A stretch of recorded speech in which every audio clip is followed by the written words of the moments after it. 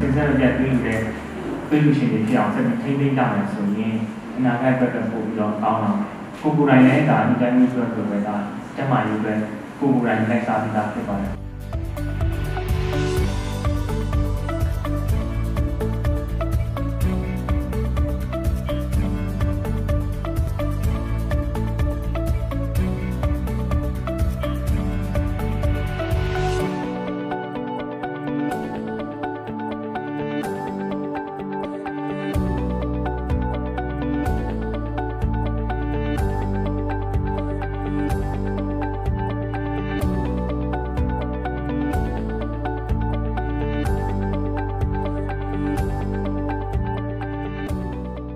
သွေးလူတွေဆိုတာကျမတို့ရဲ့ဒီပရာဟိတလုပ်ငန်းရဲ့ဒီဟိုအဓိကလုပ်ငန်းထဲမှာဟိုအခန်းကဏ္ဍမှာလည်းတစ်ခုပါတယ်နောက်တစ်ခုကကျတော့အခုကျမတို့ AR Ribbon ဖွင့်လှစ်ခဲ့တာကိုနှစ်ပြည့်တဲ့အထိမ်းအမှတ်ပေါ့နော်ဆိုတော့အဲ့ဒါကိုဂုဏ်ပြုတဲ့အထိမ်းအမှတ်လေးလည်းပါပါတယ်ဆိုတော့အဲ့ဒါရည်ရွယ်ချက်ပါရှင့်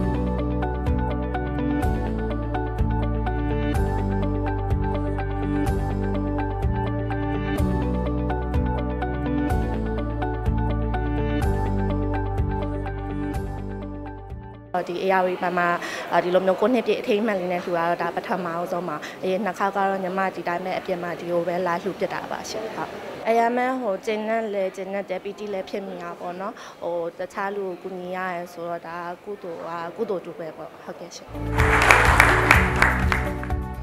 ကတော့အစတော့တစ်ခါမှတော့ကျွန်တော်မလူပါဘူးအခုကျတော့ first time ပေါ့နော်အခုကကျွန်တော် first time လှူတာမနေ့ကတော့လှူဖို့မနေ့ကတော့လှူဖို့လုပ်သေးတယ်ဟုတ်ကဲ့မလှူပြလိုက်ပါဘူးဟုတ်ကဲ့ဒီနေ့ကျမှဟုတ်ကိုနှစ်အေယာဝတီဘန်ကိုနှစ်ပြည့်လည်းဖြစ်တယ်အာဒီအမှတ်တရလည်းဖြစ်အောင်ဒီဒီကျွန်တော်ရဲ့သွေးတယ်ပေါ့နော်အခြားလူတွေကိုအာအကျိုးပြုစေမဲ့အကျိုးပြုအကျိုးအကျိုးဖြစ်စေမဲ့ပေါ့နော်အကျိုးဖြစ်စေမဲ့အတွက်အဲအကြောင်းမို့ကျွန်တော်ကတတ်တအားနဲ့ကိုယ်စိတ်ထပ်အားတက်တန်သွားနဲ့အေယာဝတီဘန်အတွက်ရောအာတခြားကျွန်တော်ရဲ့သွေးကိုအာတခြားလူအသုံးပြုရပေါ့နော်အကောင်လုံး အာ